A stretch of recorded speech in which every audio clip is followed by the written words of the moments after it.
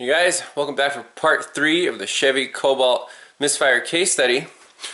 We got our head back from the machine shop. So they did a complete valve job, grind the seats, lap them in, and even uh, flatten the head here. Extra smooth finish for the multi-layer steel head gasket. So grand total for this job was about 350 bucks and uh, well hopefully it'll last another 100,000 miles. So all you got to do now is uh, put her back together. And before we fire it up I do want to perform a a flow test on these fuel injectors here. You know we have the fuel rail Schrader valve everything we need. Do it off the car you know look at the flow pattern see there's uh, that there's nothing abnormal on cylinder number three. Now the, uh, the machinist told me that the other exhaust valves weren't too far behind. He said some of them look kind of ugly, so maybe it's just, you know, a manufacturing defect that the valve seats and the exhaust valves, uh, you know, go bad. So, I guess I'll see you in a, in a few hours here when I have this all buttoned up. If there's anything interesting, I'll turn the camera back on, but uh, next shot will be, I guess, of the uh, fuel rail injector flow test.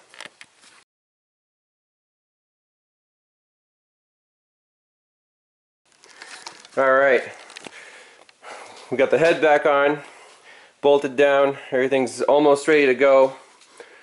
Now I want to do the injector flow and balance test. So here's the fuel rail, We've got our OTC injector tester connected right to the main bulk connector here. That lower pin is the main common feed and then the four upper pins are going to be injectors 1 through 4. So here we have injector 1 ready to fire but first we need to prime the fuel pump and uh, pressurize the system to get accurate readings so through the scan tool here I'm going to turn the fuel pump on off. Alright. And our pressure stabilizes at about 45. Okay. Let's try that again.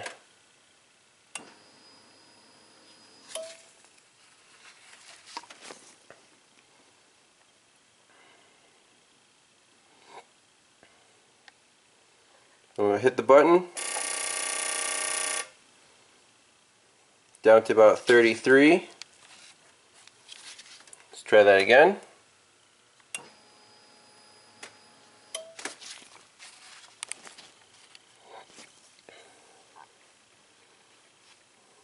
So let's for consistency so I guess we're starting at 40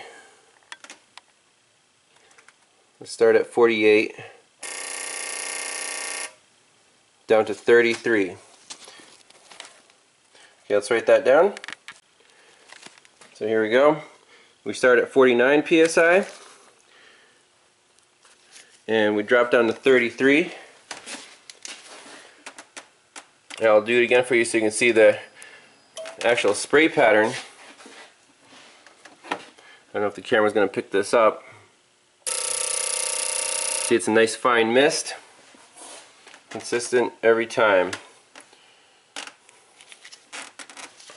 Now I'm going to move on to the next injector. Alright, we're hooked to injector number two. Let's repressurize.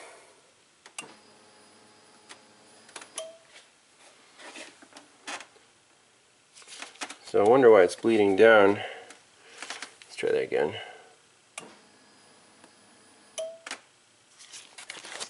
hit the button.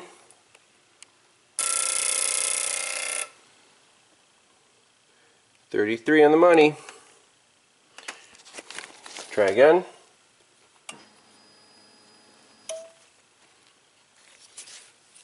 Start at 49. 33. Alright, I'm happy with that.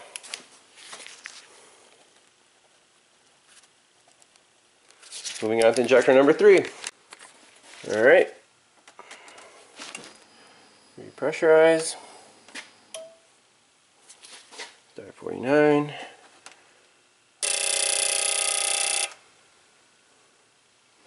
Thirty-three. So nothing wrong, nothing wrong with that injector. Do it one more time for consistency.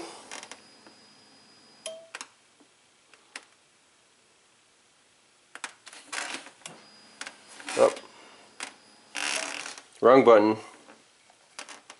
Alright, ready? You see the spray pattern. Nice mist. Down to 33. Cool. Last one. Alright, injector number four, here we go.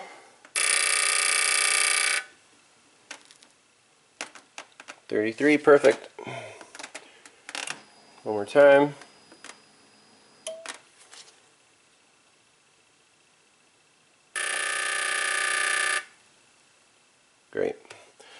Alright, that's it for the injector flow test. Now I feel confident putting everything back together and firing it up. Alright, almost ready for the moment of truth here. Got it filled up with oil. Uh, I still have to add coolant. But I want to crank it over and uh, just to build up oil pressure, make sure the timing chain tensioner works before I actually fire it up. So coils are disconnected, injectors are disconnected. Let's just crank this baby over.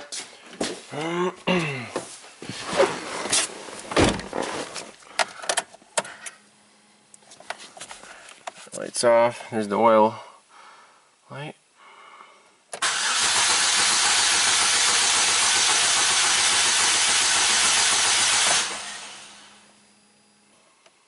Alright, I like how it cranks.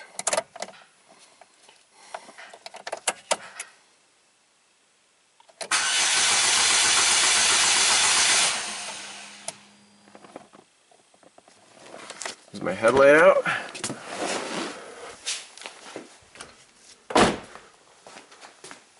Oh, there it is. Alright, I'm going to plug everything back in, add coolant, and see how she runs. Alright guys, moment of truth. Got our misfire counters up. Trouble code's cleared. Here goes nothing.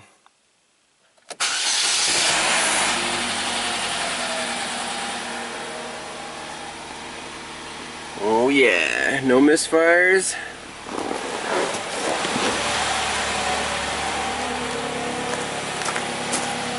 Sounds good.